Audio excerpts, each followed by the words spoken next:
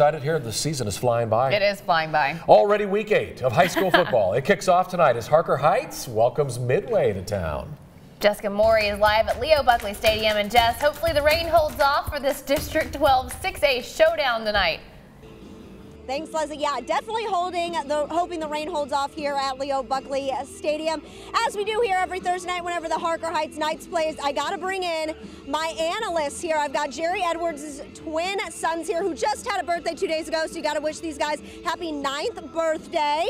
All right, Brayden, you're about to break down the offense. What does the Harker Heights offense have to do tonight to beat Midway? I think they just have to uh, hold on to the ball since there might be some rain coming and just make some big plays. Awesome. And defense, what does the Harker Heights defense need to do to win tonight, Tanner? They need to not give up big plays because if they do, one more play could carry on to a touchdowner. You are right about that. Thank you guys so much. Harker Heights, Midway tonight. Kickoff is at 7 coming up later in sports. I'll have a live interview with Midway head coach Jeff Hulme, whose birthday was yesterday. So lots of birthdays going on here. We'll have uh, we'll hear from him in just a little bit. Stick with us. Reporting live here at Leo Buckley Stadium. I'm Jessica Maury. Back to you guys. Thanks, Jesse. Yeah, sign those kids up. Right? They're good analysts. Yeah, I was going to say, we need some of that around here. All right.